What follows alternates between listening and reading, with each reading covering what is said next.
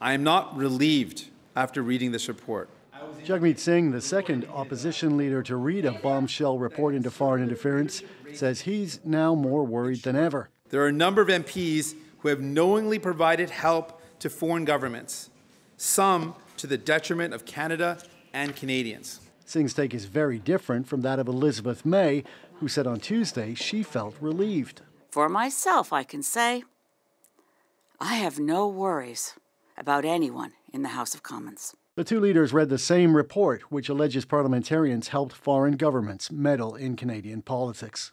May saying there's no evidence sitting MPs were disloyal to Canada, Singh unwilling to confirm or deny that. Instead, he accused both Justin Trudeau and Pierre Poilievre of a failure of leadership.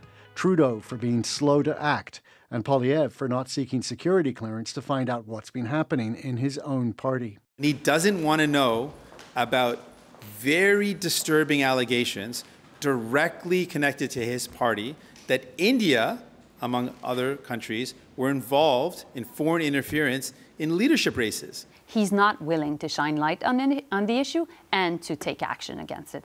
And that's a problem.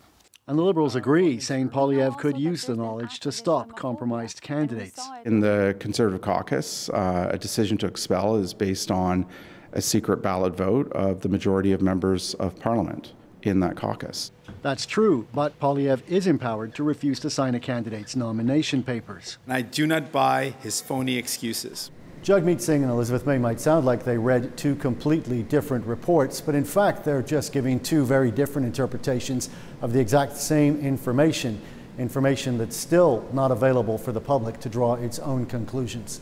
Evan Dyer, CBC News, Ottawa.